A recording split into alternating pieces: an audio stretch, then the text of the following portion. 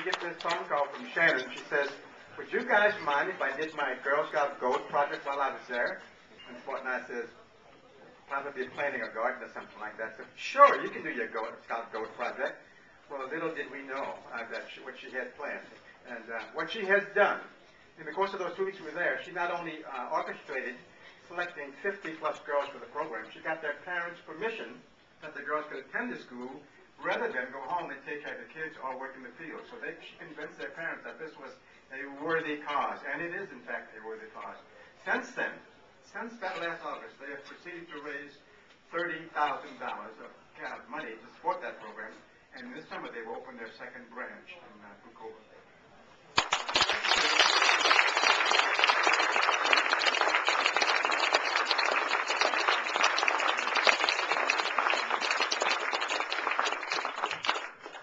Awesome family. Um, thank you so much. Um, first, I'd like to thank Smart, my family, and all of the GCN volunteers because without their help, sure this wouldn't have happened.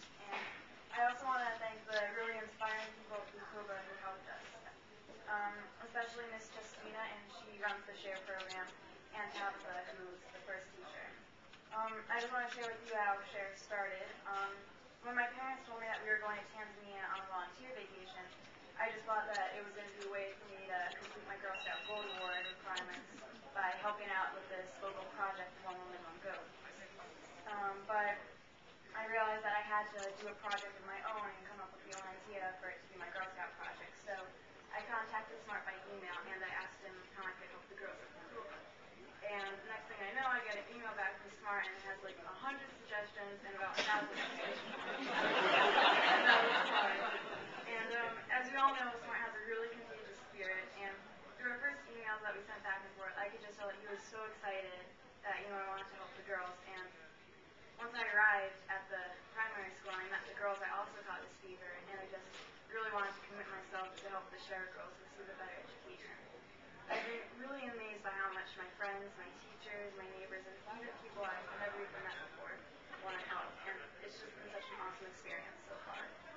And lastly, I'd like to thank the Share Girls. They have just taught me so much just by witnessing their love of education and their commitment to each other.